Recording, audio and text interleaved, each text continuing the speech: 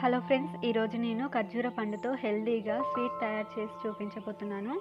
చాలా టేస్టీగా సూపర్గా ఉంటుంది. మీకు తప్పకుండా నచ్చుతుంది. కేవలం ఐదు నిమిషాల్లోనే ప్రిపేర్ చేసుకోవచ్చు. ఇప్పుడు ఎలా తయారు చేసుకోవాలో చూద్దాం. చివరి వరకు స్కిప్ చేయకుండా చూడండి. ముందుగా ఫ్రెష్ ఖర్జూర పండ్లని తీసుకొని సగం వరకు కట్ చేసి గింజలు తీసేయాలి. ఖర్జూర పండుని పూర్తిగా కట్ చేయకండి. ఇలా సగమే కట్ చేయండి.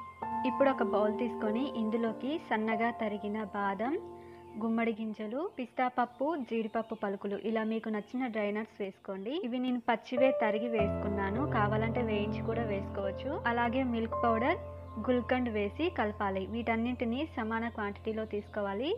నేను ఒక్కో టేబుల్ స్పూన్ తీసుకున్నాను. ముద్దలా కలుపుకోవాలి. బైండింగ్ సరిగ్గా అవ్వకపోతే మరి కొంచెం గుల్కండ్ వేసి కలుపుకోండి. చూస్తున్నారు కదా ఈ విధంగా బాగా కలిపిన తర్వాత కొంచెం కొంచెంగా తీసుకొని ఖర్జూర పండులో స్టఫ్ చేసుకోవాలి.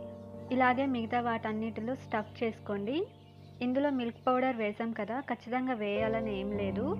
ఉంటే వేయండి లేదంటే డ్రై నట్స్ మాత్రమే యూజ్ చేయొచ్చు. అన్నీ ప్రిపేర్ చేసిన తర్వాత నేను దీని మీద సిల్వర్ ఫాయిల్ వేసుకున్నాను. ఇది కూడా ఆప్షనల్ మాత్రమే. ఇది వేస్తే బయట స్వీట్ షాప్స్లో కొన్నట్టుగానే ఉంటుంది. అంతే ఫ్రెండ్స్ ఖర్జూర పండుతో చాలా హెల్దీ మిఠాయి రెడీ అయింది. వీటిని ఒక ఎయిర్ టైట్ కంటైనర్లో స్టోర్ చేసుకోవచ్చు. ఫ్రిడ్జ్లో పెట్టాల్సిన అవసరం లేదు. బయటనే పెట్టి రోజుకొకటి తినండి.